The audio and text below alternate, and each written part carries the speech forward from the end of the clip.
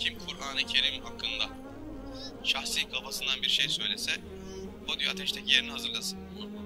Bunu söylüyor. Demek ki Kur'an-ı Kerim okuduğumuz zaman da kendi kafamıza göre, kendi keyfimize göre Allah bence böyle diyor, Allah sence ne diyor filan deyip kafamıza göre Allah sence ne diyor, bence ne diyor diye bu işe bakamayız. Kur'an-ı Kerim'i anlamak için bunun ilmini tahsil edeceğiz. Bak bunun okulları var. Kelam dersini, değil mi? Tefsir derslerini okullarda, medreselerde veriyorlar.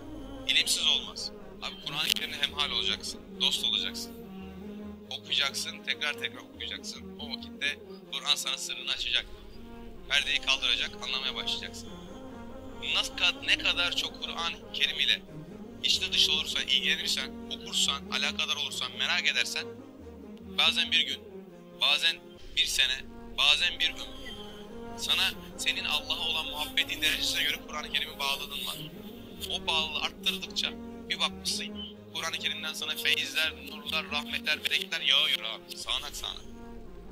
Yeter ki Bismillah ile Kur'an-ı Kerim'in kapağını açalım. Anahtardır o. Fatiha ile başlayalım. Ve Kur'an-ı Kerim hatmedelim. Bütün muhabbetini Kur'an'a ver. Kur'an-ı Kerim'e vereceksin. Başka muhabbeti oraya çevirmeyeceksin yani. Kitabullah açar açmaz allah Teala kim görüşmek isterse Kur'an okusun.